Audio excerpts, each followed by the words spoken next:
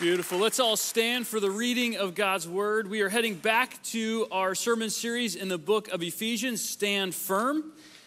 If you're just joining us, we are in Ephesians chapter 3, verse 14, and we're going to be going to the end of chapter 3 and verse 21. Let's hear from the Lord this morning through his word. For this reason, I bow my knees before the Father, from whom every family in heaven and on earth is named that according to the riches of his glory, he may grant you to be strengthened with power through his Spirit in your inner being, so that Christ may dwell in your hearts through faith, that you, being rooted and grounded in love, may have strength to comprehend with all the saints what is the breadth and length and height and depth, and to know the love of Christ that surpasses knowledge, that you may be filled with all the fullness of God. Now, to him who is able to do far more abundantly than all that we ask or think, according to the power at work within us, to him be glory in the church and in Christ Jesus throughout all generations, forever and ever. Amen.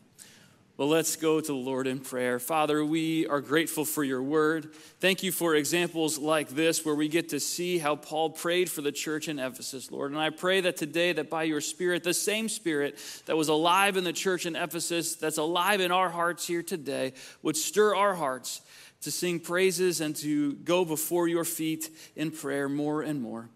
We love you, Lord. Thank you for your great grace for us. And I pray all this in Jesus' name. Amen. You may be seated. Well, to those of you who are seated on this side of the room and looking at that screen today, uh, apologize for the technical difficulties we've been having. You know, our, um, uh, if you were here at the NCA Fine Arts Night this week, this screen was out.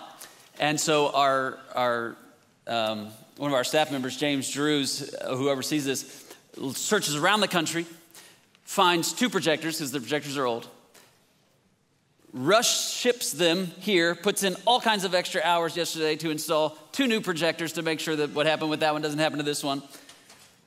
And the one that wasn't bad, that got replaced, is bad. and that's what happens sometimes, isn't it? You just like, you put in the time, you put in the effort, and then something goes bad. Well, while you didn't know it, he's still working feverishly behind the scenes and actually replaced that projector in the midst of hearing that beautiful uh, song that, that we were just doing, right? Praise God for James. Thank you. Anyway, we've got a great staff. I'm volunteers and just so proud to be a part of people who put in so much time and effort to, to make our worship experiences and everything that we do here uh, worthy, at least aiming at the excellence that the Lord's worthy of. Well, speaking of broken, let's talk about us. And uh, Before we talk about us, let's talk about Bruce Springsteen. As Bruce Springsteen, he was born the only son in a middle class family in Freehold, New Jersey. His home was literally a crumbling ruin of walls. There were no rules in the family. His father was very distant. There were a, a, lot of issues there. He can remember as early as five years old there just being no rules in the house, and he would stay up till 3 a.m. He would go. He would stay, sleep in bed until three in the afternoon. He would eat whatever he wanted, whenever he wanted. And as he reflects back on his life, he had this to say in his memoir. He says, It was a place where I felt an ultimate security, full license, and a horrible, unforgettable, boundaryless love. It ruined me and it made me. Later on in his life, he sought out therapy because he recognized he had this pattern of ruining and ending romantic relationships after about a two year period of time. And he just kept doing this over and over. And, and as he looked into himself through that process, uh, he discovered what, what the issue was. And this is what he said He said, I wanted to kill what loved me because I couldn't stand being loved. It infuriated and outraged me. Someone having the temerity to love me. Nobody does that. And I'll show you why. It's been my experience in talking with many people over the years, and I think if I were to do a survey of you and ask you the question the majority of you would say that it is easier to love somebody than it is to receive love from somebody. The fact is, when somebody tries to extend love to you, you have a hard time believing it. Because you think to yourself, if they, they don't really love me, because if they really knew what I was like, they would not act this way toward me. They would not demonstrate these actions toward me. You have a hard time receiving compliments because it so conflicts with your view of who you are. It's like an identity crisis when somebody tries to say something to you that's positive. You just don't believe it. Many of us have a difficult time being loved by other people. And the fact of the matter is, that same issue we have receiving love from other people is actually true in our relationship with God as well. We have a hard time believing He actually could or actually does love us. Uh, partly because we're aware of many reasons why He should not. And so, like a rebellious child will frequently do in the home, we try to show God and prove to Him all the reasons why we're not lovable. The passage we read today from Ephesians chapter 3 is of particular significance to our family. This particular prayer is one that, uh, after each of our three children were born, Emily and I, as soon as the doctors or nurses handed us back the baby, laid our hands on their head and prayed this prayer over each one of them. And why would we do that? What is it about this prayer?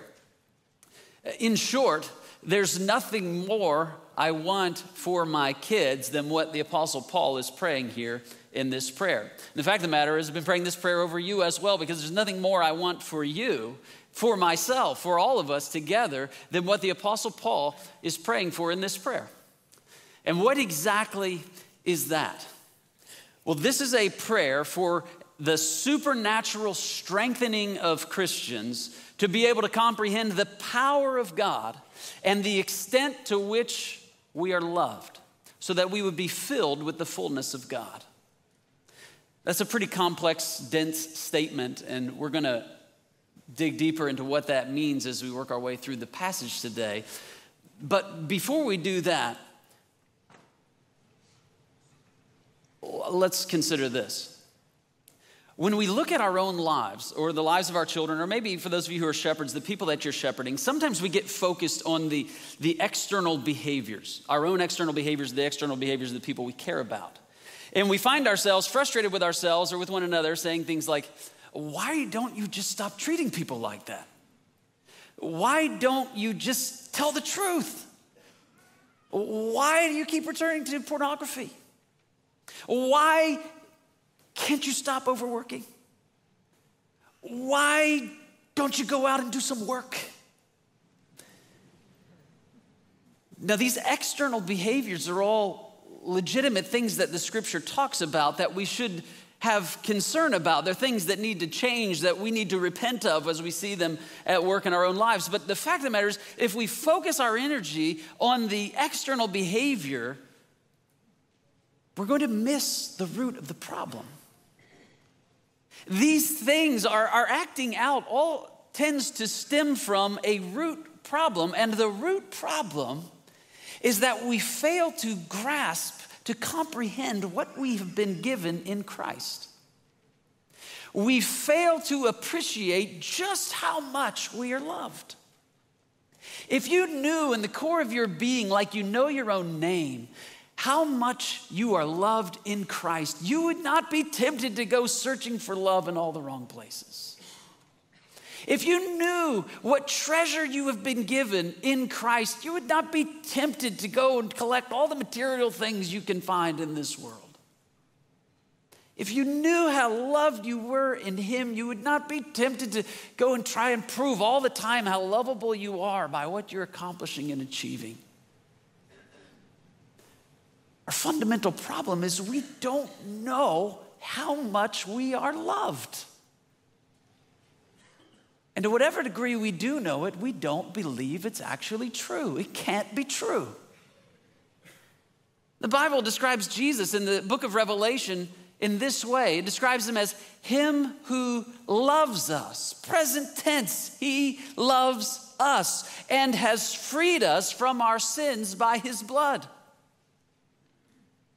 Do you believe His love is a present reality for you in this moment, as surely as He has freed you from your sins by His blood, that He loves you with an everlasting love, with the kind of love that nothing in all of creation nor all of eternity will be able to separate you from?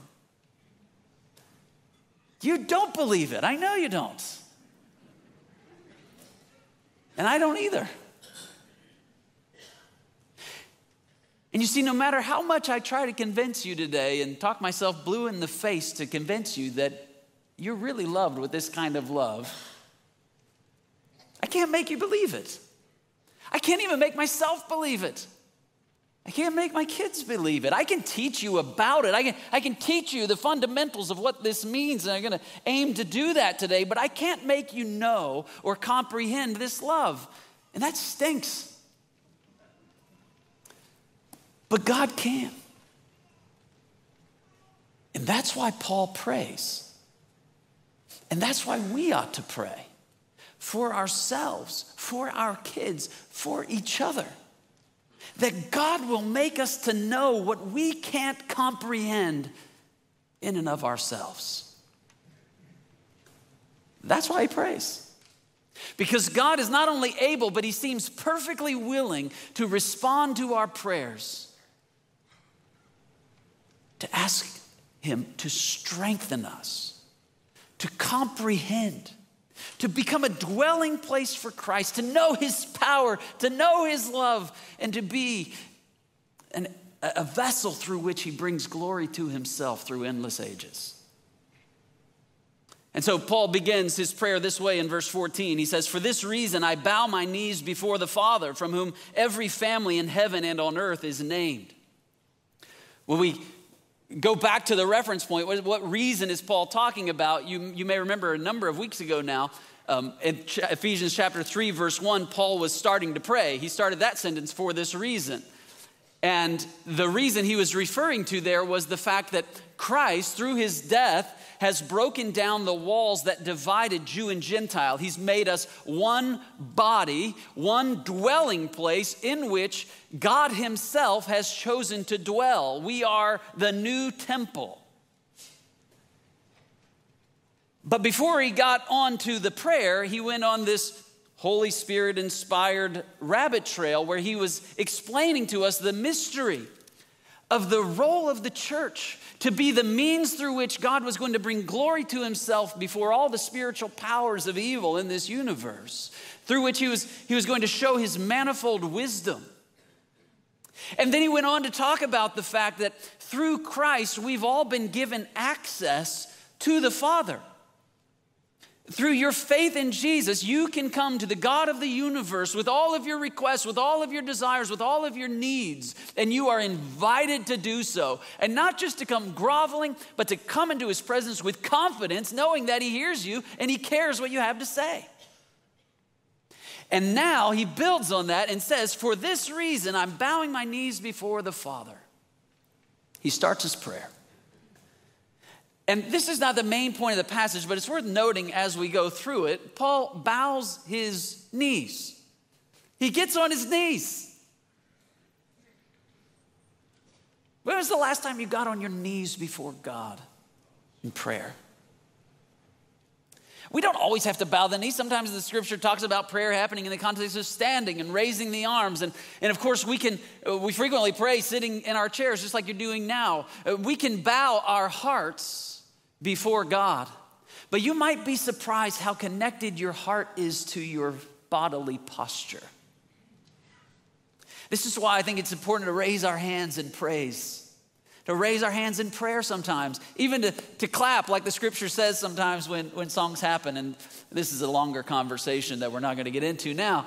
And I know some of you are resistant to this idea, even though the Bible says it, you're like, yeah, but I'm clapping in my heart. And we're like, right, that's great uh, clap in your heart, but sometimes your body can do it too. And it actually, uh, and even, and sometimes you say to yourself, well, I'm not going to clap because I don't feel it. Well, sometimes when you do the thing, then that actually changes how you feel. And the same is true with prayer. You may not be humble in God's presence. You may not be in a posture of supplication, but sometimes if you get your body in that posture, you'll discover that your heart actually follows. And so Paul bows his knees before the Father, and this is what he begins to pray for. He begins to pray for strengthening, and that strengthening comes in a few different ways. He's first of all is going to pray for strengthening for the indwelling presence of Christ. He's going to pray for strengthening that we might comprehend, and then he's going to pray that we would be strengthened in order to bring God glory. And so let's start with this idea of about being strengthened for indwelling. He says in verse 16, he prays that according to the riches of his glory, he may grant you to be strengthened with power through his spirit in your inner being. There's so much here to digest, but the first piece of this is that this prayer is according to the riches of his glory. How rich is God's glory? We're back into the realm of immeasurable things, just like his power, just like his grace, just like his love.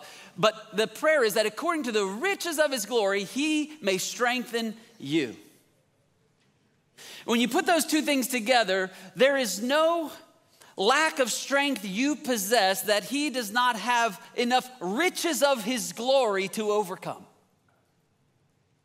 There's no limit to the degree that he can strengthen you. And he's strengthening you with power through his spirit who already dwells in your inner being or your inner man. He's talking to Christians. And so he's asking for this, this, this strengthening power inside of you. For what purpose? He goes on in verse 17, so that Christ may dwell in your hearts through faith. Now, if you're a Christian, you might have already thought Christ was dwelling in your heart. In fact, you may even use the language, I asked Jesus into my heart. That's often how we talk about conversion. And here's the reality if you're a Christian, Christ does already dwell in your heart by his Spirit. So then, what is Paul praying for here? When he prays that you would be strengthened by his spirit in your inner being so that Christ may dwell in your heart. If he's already dwelling in your heart, what exactly are we asking for? It's not totally clear. But I think most probably what he's asking for is an increasing sense and evidence and awareness of the fact that he is dwelling there. For an increasing sense of the rule and reign of Christ in your heart, for a life that increasingly reflects the reality that Christ actually dwells in you, for more and more of the presence of Christ to be evident in you and through you. To be able to say increasingly, like the Apostle Paul, I've been crucified with Christ, is no longer I who live, but Christ who lives in me that more and more your life would be melded with His until it's no longer you we see, but Him in you. This is the work of a lifetime. This is a process. And yet, it's one we ought to ask for this strengthening of Christ's dwelling through faith. Do you realize that Christ dwelling in your heart is connected with your faith, with believing? Where there is no faith, there's no dwelling of Christ in your heart. And to the degree that you are believing Christ dwelling in your heart is the degree to which he will be made manifest in your heart and life. C.S. Lewis has a beautiful quote in Mere Christianity where he talks about this idea of being a dwelling place for Christ and how we often don't fully appreciate what that's going to mean for us. And this is how he describes it. He says, Imagine yourself as a living house. God comes in to rebuild that house. At first, perhaps you can understand what he's doing. He's getting the drains right and stopping the leaks in the roof and so on. You knew that those jobs needed doing, and so you're not surprised. But presently, he starts knocking the house about in a way that hurts abominably and does not seem to make any sense. What on earth is he up to? The explanation is that he's building quite a different house from the one you thought of. Throwing out a new wing here, putting on an extra floor there, running up towers, making courtyards. You thought you were being made into a decent little cottage, but he is building a palace. He intends to come and live in it himself. This is what we discover in the Christian life. We invite Jesus into our life. We say, Yes, come be my Lord, my Savior. And he comes in, he starts to clean up. We know the things that need addressing when he comes in. And we're glad he starts to fix those things, but then he doesn't stop. He just keeps going deeper and he starts knocking about the house of your heart and, and taking away things and, and changing things. You discover that after you become a Christian, in some ways, your life starts to get harder. You start to encounter resistance from family members that you never had before. You might discover that your career and your faith come into a conflict, and one of them is not going to survive. You discover that you're, you're facing new pressures and new temptations that you never dealt with before. What's going on here? Has God lost all control? And the answer is no. This is, he's building a house, He's building a palace in which to dwell in your life.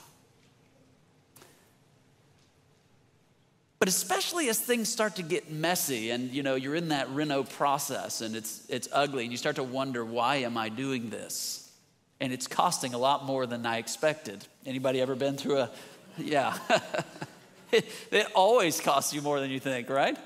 The same is true with Jesus and his renovation. It's more costly than you thought when you signed up for it. But it's precisely in the midst of that when you're wondering, what the world was I thinking? That you need strength to comprehend both his power to accomplish the good work he's doing and the love that is motivating the work. So that's the second thing he begins to pray for here, and that is that we would be strengthened for comprehension. He continues in verse 17 to 19 so that Christ may dwell in your hearts through faith, that you, being rooted and grounded in love, may have strength to comprehend with all the saints what is the breadth and length and height and depth, and to know the love of Christ that surpasses knowledge, that you may be filled with all the fullness of God. It's so much. So much.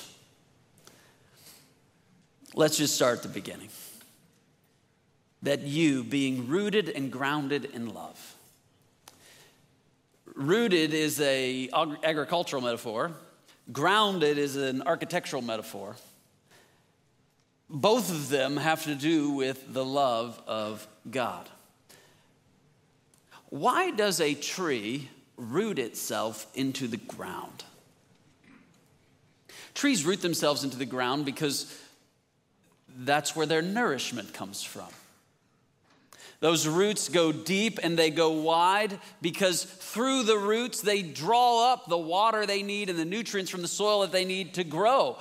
Additionally, those same roots become the source of stability for the tree so that when the winds come blowing, the tree is able to stay firmly rooted in the ground. Because a tree on its side, uprooted, is no longer accomplishing what a tree is there for. It has other purposes at that point, but not its primary purpose. What Paul describes the Christian life as, what he's praying for here, is that you would be rooted in the love of God. That your roots would go deep and wide into God's love, and that His love would become the source of life and nourishment for you as a Christian and that his love would become the source of your stability in your Christian life, so that as you're going along your journey and the winds of life come howling and the storms blow, you would be stable, firmly planted, with deep roots in the love of God that the winds of life can't shake and pull you out of. You may remember, I can't remember if it was late last year or early this year, we got an unusual amount of rain for this time of year. And the effect of that was our yard got saturated, and we had a very top heavy avocado tree that's been the source of other illustrations in sermons. It's, it's never good ones, but just it was. Anyway, this tree was very top heavy, and the effect of all the rain was the ground got so saturated when the wind blew, the tree got uprooted, it fell over. The roots were still intact though, and so uh, some good friends from church came over and they set the tree back up and they staked it down, and those roots are now reestablishing themselves in the soil and it's becoming increasingly sturdy and starting to, to bear fruit again, if not now, hopefully soon. Sometimes this happens to us also in the Christian life. As we're going along the way, the storms of life just knock us over. And we need somebody to come alongside us and to set us back up and to plant our roots firmly once again in the love of God, that from that love we would be nourished and strengthened and find a new stability that we not be shaken. That's what Paul's praying here, that we would be rooted, but also grounded in love. He's talking about foundations. And, and even people like me who can't build anything know that the most important thing about a building is its foundation. If you've got a building on a bad foundation, you're going to have all kinds of cracks. It's going to be, it's going to be deforming and increasingly deforming over the course of time. It will eventually become unsafe and, and will start to fall down. And no matter how much caulk you put on the cracks or how much you try to cement those cracks, you're not dealing with the fundamental problem. And as I was sharing earlier in the sermon, so often in our Christian life, we see problems with the building of our Christian life, and we start to put cracks and caulk, and we try to try to just temper the behaviors and see if we can just cover this up and put a little paint over that, thinking that that we're somehow fixing the problem. The issue, we got a foundational problem. Our, our Christian life is not built on the love of God as revealed to us in the person and work of Jesus. And so Paul says earlier in 1 Corinthians if, if you're building on any other foundation than Jesus Christ and the love that was made manifest in the gospel message, whatever you're building on top of that is not going to last. So, Paul is praying, and my prayer for us is that our Christian lives would be established, rooted in the love of God, and built on the solid foundation of God's love. And the reality is, our building is still gonna have issues. We're gonna have some, some we're gonna have to deal with chipped paint and you know, leaky faucets and so on. That's the normal Christian life. But if the foundation is solid, we're going to be okay. The love of God is both our source of nourishment as well as our firm foundation for building life upon. This is why this is the first prayer I wanted to pray for my kids when they entered the world. I had not that I had thought this through, but upon reflection, I think this is, oh, I know, and, and you know, if, if our kids know nothing else when they leave our homes, what we want them to know above everything else is the love of God for them as revealed in the person and work of Jesus. And if you know nothing else after your time here at Covenant, I pray that you would know this that your life would be rooted and grounded in the love of God revealed in the person and work of Jesus. Because no matter else, no matter what else we might mess up, if you've got that foundation, if you're rooted in that truth, you're going to be okay. And so he prays that you, being rooted and grounded in love, verse 18, may have strength to comprehend with all the saints what is the breadth and length and height and depth of what? He does not say. He does not say. If you're reading from the New International Version, an alternative translation of the Bible from the one I'm reading here, it will say the love of Christ. The Greek text doesn't say that. The translation I just read for you is the most accurate translation of what the Greek text actually says. We would expect to find in the Greek language a word in the genitive case that relates to these measurements, and what we find when we look there is he didn't finish his thought before moving on to the next one. And so scholars have debated what exactly is the height, depth, length? and breadth. Of, of what? The majority view, like the NIV translation says, is the love of Christ. And there's lots of good reasons for believing that. It's certainly a theme of this passage, as we're going to see right in the very next phrase. However, I think there are even more compelling reasons for believing that when he describes a desire for them to be strengthened, to comprehend the height, breadth, length, and, and depth, he's talking about the power of God. He wants them to comprehend God's power. Why do I say that? First reason I say that is because we only have one other example of these four dimensions used in an ancient text. It's outside the Bible, and it's actually a magical text. And it's a magical text describing some kind of supernatural power, and it uses exactly this phrase of height, breadth, length, and whatever to describe the, the dimensions of this power that's, that's essentially beyond comprehension. And so you may remember the Ephesians from the book of Acts. The Ephesians had background in magic. Many of them were converted out of a background of being involved with the magic arts. They would have been familiar with this kind of terminology used to describe power. And what the Apostle Paul is doing is he's commandeering that language and he's applying it to the power of God, saying, I wish you would know, I want you to know this power. Its dimensions which far exceed anything you knew in your former life.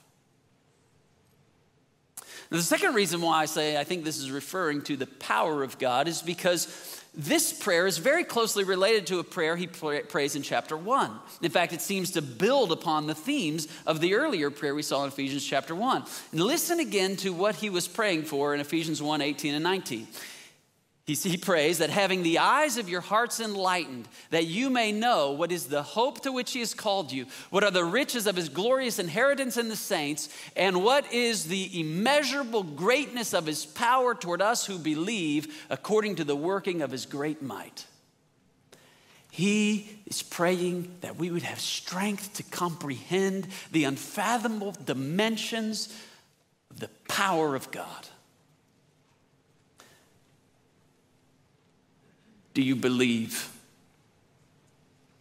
that God's power is unfathomable? Or do you have a small view of his power? Do you believe he has the power to strengthen you to be a dwelling place for Christ? But it's not just power he wants them to know about. He continues, and he says in verse 19, and to know the love of Christ that surpasses knowledge, that you may be filled with all the fullness of God. We need strength to comprehend his power, but he also says, I want you to be strengthened to comprehend and to know the love of Christ that surpasses knowledge. That doesn't make any sense, does it? How can you know something that surpasses knowledge?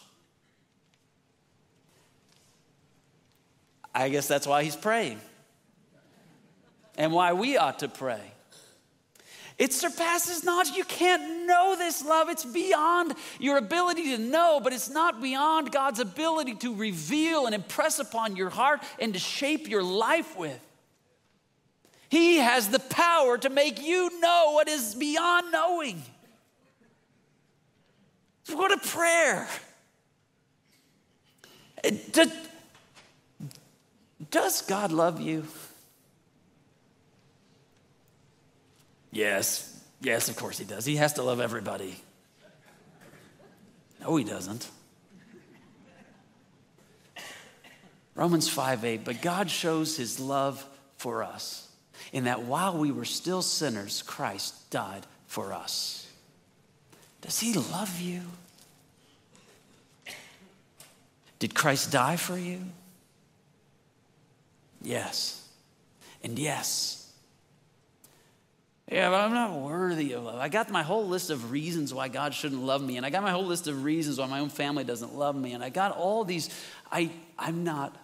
I, I know why I'm not worthy of love, and and that's what the Bible says is is like He didn't love you because you were worthy. He specifically did the greatest act of love the world has ever seen at the height of your unworthiness. Whoever you are today, whatever you've done, however unworthy you know you are, I'm not going to argue with you. I'm just going to tell you. It was at that point of deepest unworthiness that Christ came and gave his life so that your unworthiness could be taken away, buried in the depth of the sea, never to be remembered again. That having that sin taken away, you could be reconciled to the God of the universe. So that you, the unworthy person that you are and that I am, could now have a door open to us into the very throne room of God where He invites us and says, Come and ask me for what you want and I'll do it for you. Does he love you? My goodness, yes. Do you believe it? Probably not. Can we pray for it? Absolutely. And we ought to. That He would give us strength to comprehend His power and his love toward us who believe. Why? He tells us now in verse 19 that you may be filled with all the fullness of God. What an interesting connection he makes here. Apart from knowing the love of Christ, you can't be filled with all the fullness of God. To the degree you know the love of Christ is the degree to which you will be filled with the fullness of God. That sentence may sound like a strange one. What does it mean to be filled with the fullness of God? It too is kind of a complicated idea, but it let me show you one of the other places in Scripture where this phrase is used, and this may help you understand what he's saying about you. In Colossians chapter 2, 9, and 10, the Apostle Paul is describing Jesus, and he says, For in Christ the whole fullness of deity dwells bodily and you have been filled in Christ, who is the head of all rule and authority. All the fullness of deity dwells bodily in Jesus, and Jesus dwells in you. And Paul prays that you would know the love of Christ that surpasses knowledge, so that you would be filled with all the fullness of God. I think what he's talking about here is just an ever increasing indwelling of Christ in the fullness of who he is as the living God in us. It's beyond our knowing. It's beyond our strength. And so he prays that we would be strengthened to know and experience this reality. And that brings us to the final piece prayer that we would be strengthened for his glory. Paul prays in verses 20 and 21 Now to him who is able to do far more abundantly than all that we ask or think, according to the power at work within us. To him be glory in the church and in Christ Jesus throughout all generations, forever and ever. Amen. This prayer he's making to the God who's able to do far more abundantly than all we ask or think. What do you think God is able to do? He can do more. How are you limiting God's power with your small imagination of His greatness? Do you long to be free of the habits and the patterns of behavior that you hate? God has the power. Do you believe it? Do you long to be a person who's filled with love and patience and humility and self control. You should. Do you believe God has the power to make you that kind of person? He does. And we ought to ask Him. And we ought to ask Him with eager anticipation that He will do in and for us these very things. Our problem is not that we ask too much of God, but that we ask so little because we think so little of what He's able to do.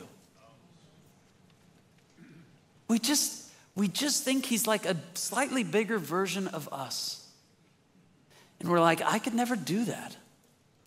I can't help somebody overcome that sin in their life. I can't help somebody change their posture towards that person they hate. I can't.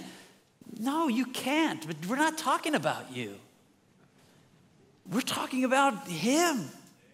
The same power that, that split the sea, the same power that rose Jesus from the dead, the same power that stopped the sun, the same power that is renewing the whole of creation is at work in you. He's able. Will you ask Him? And keep on asking Him. How do you think about the power of God? Because that's what he's saying. He's, he can do this according to the power at work within us.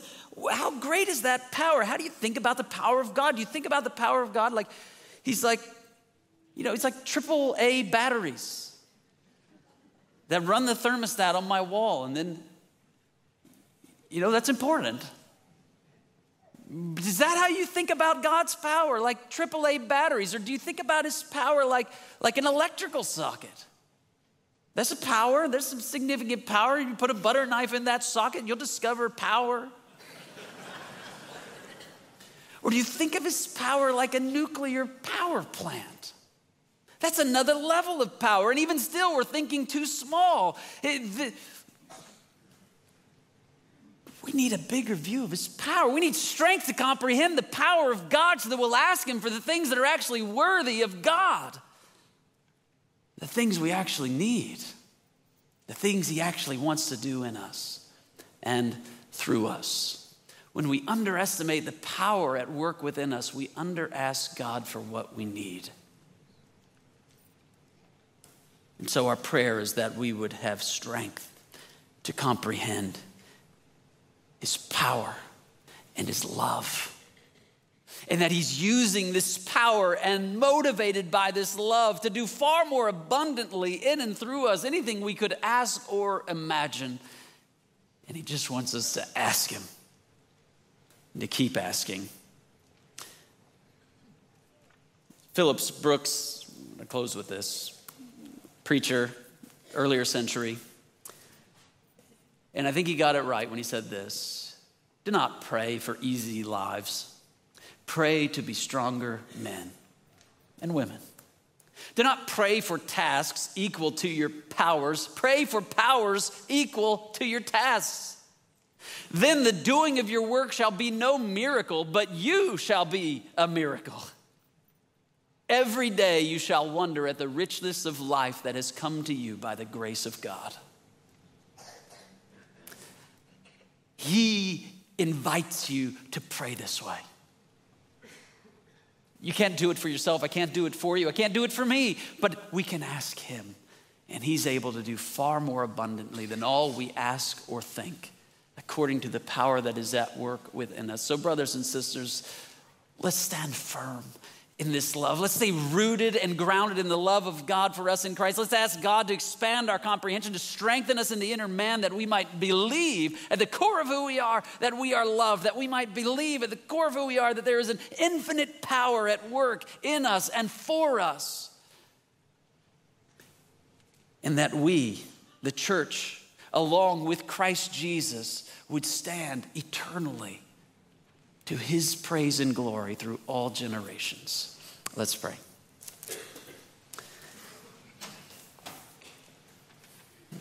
Lord, forgive us that we so frequently think of you in such small ways.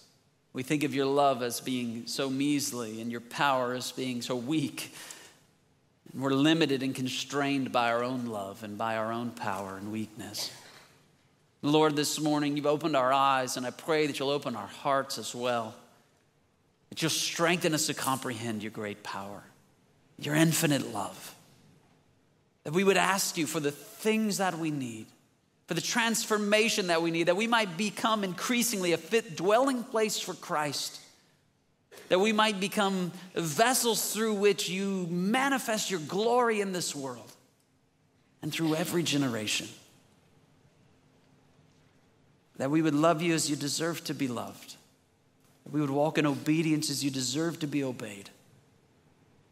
That we would wait with eager anticipation for you to do far more abundantly than all we could have asked or imagined. We pray all of these things in Jesus' name. Amen.